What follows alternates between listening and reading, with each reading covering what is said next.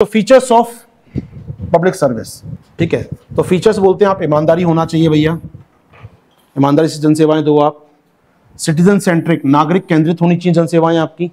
Feature होता है, नागरिक केंद्रित जनसेवाएँ हो आपकी।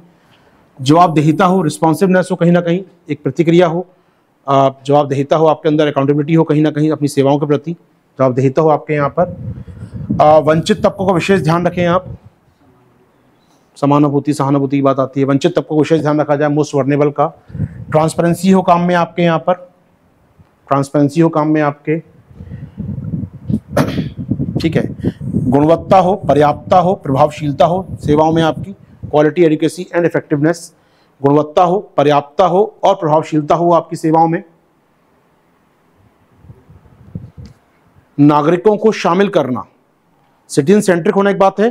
पार्टिसिपेशन ऑफ़ पब्लिक होना ज़रूरी है आपकी जो जन सेवाएँ हैं, नागरिकों की सहभागिता हो उसके अंदर। तो पार्टिसिपेशन लिखा नहीं लिख लीजिएगा, सहभागिता हो जनता की, ये फीचर होना चाहिए आपकी। पॉलिटिकल न्यूट्रल होना चाहिए आपको, राजनीतिक रूप से निष्पक्ष होना चाहिए आपको। इंटीग्रेशन इंटीग्रेशन की बात आती है इंटीग्रिटी की बात आती है, यहाँ पर निष्पक्षता की बात आती है।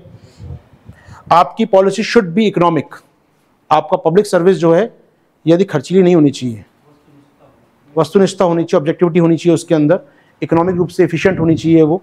ऐसा नहीं पब्लिक सर्विस में आपने करोड़ रुपये खर्च कर दिए दस लोगों को शिक्षा देने में।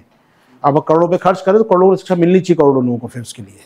तो निष्पक्षता होनी चाहिए उसके अंदर ऑब्जेक्टिविटी होनी चाहिए उसके अंदर इकोनॉमिक रूप से उसका क्या इकोनॉमिक इफिशियंसी होनी चाहिए उसके अंदर और कुछ?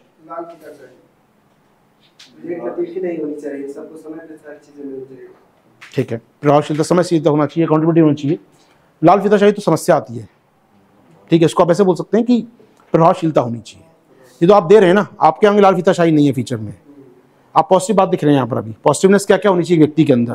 पारदर्शिता, जवाबदेहिता, आप पब्लिक को शामिल करने की तीव्रता पब्लिक की आवश्यकताओं को समझने की तीव्रता, आर्थिक दक्षता आपके अंदर होनी चाहिए राजनीतिक निष्पक्षता होनी चाहिए, वस्तुनिष्ठता होनी चाहिए इंटीग्रिटी पब्लिक पॉलिटिकल न्यूट्रलिटी होनी चाहिए आपके अंदर।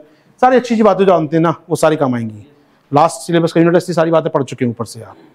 ऐसा मान के चलते हैं हम लोग। तो ये सारी यूनिट इसमें होनी चाहिए आपके अंदर। ठीक है? ये गुण होने चाहिए एक पब्लिक सर्विस देने वाले व्यक्ति पब्लिक सर्विस के अंदर। अब इन गुणों को कैसे लाया जाएगा? कानून के द्वारा, नैतिक मूल्यों के द्वारा या जनता की फीडबैक के द्वारा? क्लियर हमको यहाँ तक बातें स्पष्ट है?